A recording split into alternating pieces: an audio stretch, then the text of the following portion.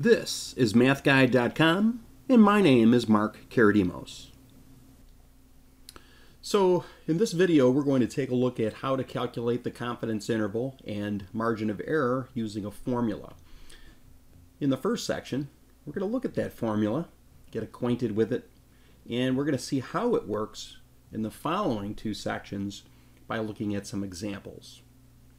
Okay, so I just want to inform you that if you go to Math Guide and you click on our lessons section, you could uh, also take a look at our statistics section and you could see that we do have a lot of content on that.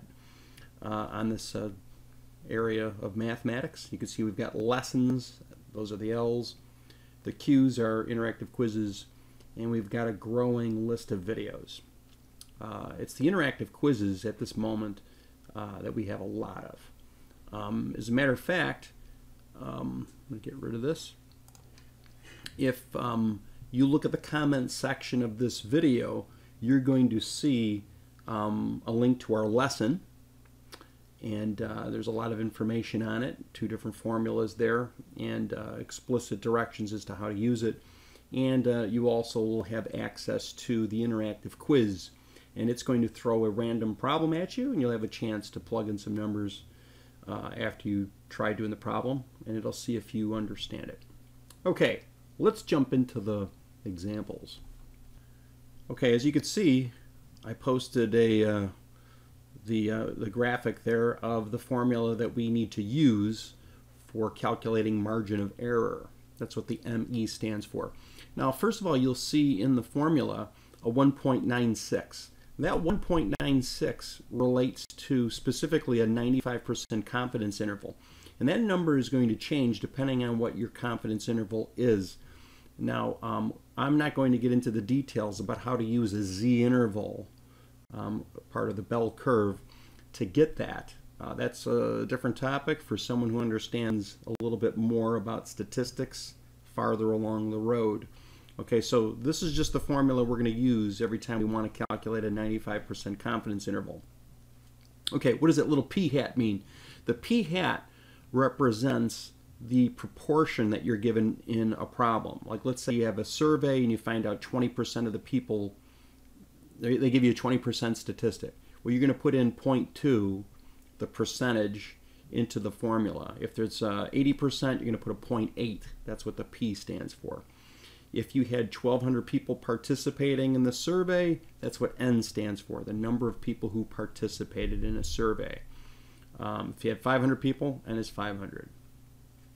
So the best way to see how to use this formula is to see it in action when we're actually going through a problem. So let's jump into our problems.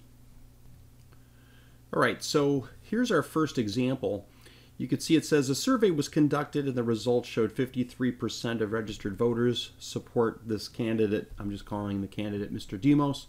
Calculate a 95% confidence interval for 850 people who participated in the survey.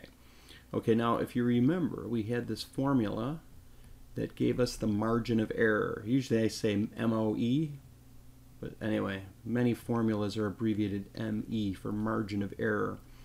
Okay, so this is what the formula looks like for a 95% confidence interval. Now you'll see the percentage we're given. I mean, disregard the 95%. We already know that's the percentage for our confidence interval. The other percent is a 53%. So when you throw it into the formula, you're going to put 0.53 and in parentheses you're going to put 1 minus 0.53. I'm just going to make it easier. I know what 1 minus 0.53 is. is 0.47. Okay, so I'm just cleaning up a little bit. There's my 1 minus 0.53. Okay, and underneath it says uh, how many people? Well, we got 850 people. And I'm literally not going to do any more work by hand. Nothing. Nothing. Okay, so I'm plugging this into the calculator and exactly how it is. And I would use like, let's say a TI-Nspire, so I could plug it in exactly how it is. What with the what you see is what you get system, right? So plug that in. Now I'm looking at a cheat sheet because I already did this. And out comes this number, oh, uh, 336. Okay, what does this number mean? Remember, we're, we're talking about percents. And just like when I plugged in uh, 0.53, I have to move the decimal two places to the right to get it back to a percent. So this means uh, 3.36%. Okay, what now? That's the margin of error. Now, if you remember anything about how to build your confidence interval from the margin of error, you first you're going to take the 53% or just the 53 minus 3.36. That's going to get the low end of your margin of error. I did that already and I'm getting 49.64.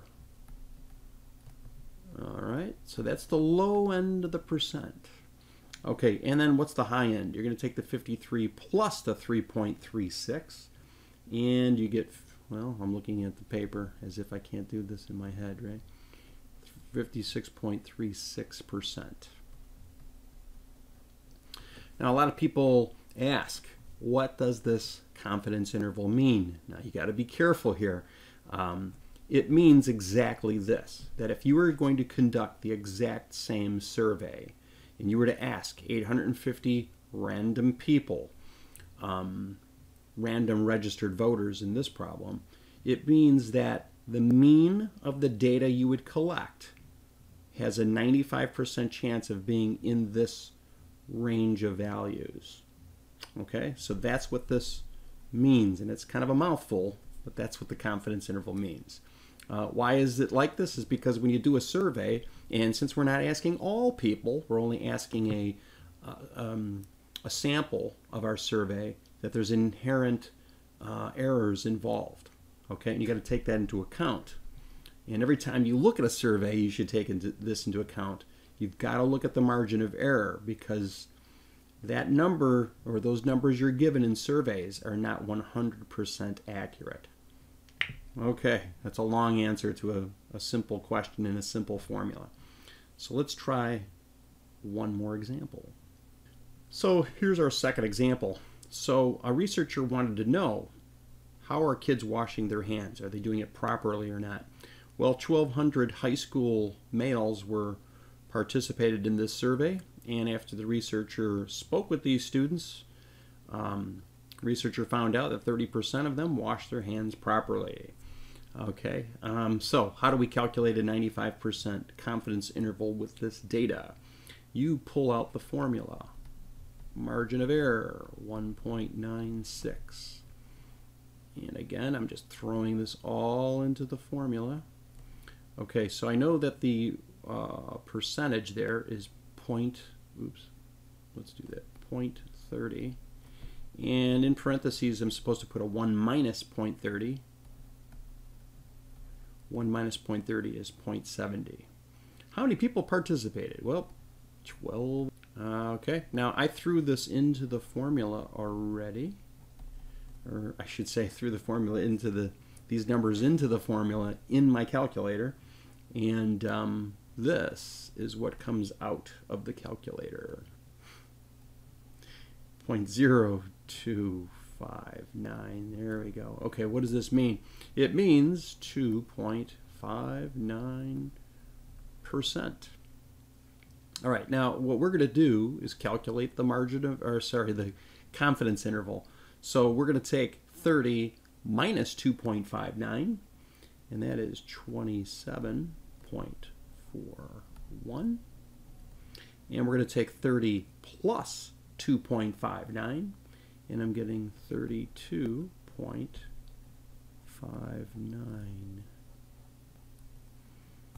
Okay, so, and oh yeah, I should have percents on those.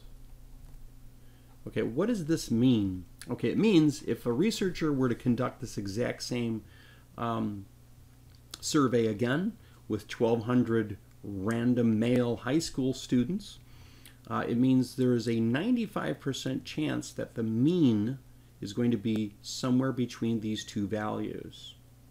Okay? Um, and that's what I would write down on a test. Okay, exactly what I just said there. Um, why is it? Because again, there's inherent errors that are involved when you don't ask all students. You're, you're just taking a sample of the students, and that's why there's this variance. I'm not going to use the word variance. Sorry. That's why there's this these values um, that it could swing between because of the inherent errors involved in the problem. Okay. So there you go. Our two problems are done. So uh, go back to mathguide.com. Make sure uh, you check out our interactive uh, quizzes, our lessons, and our instructional videos.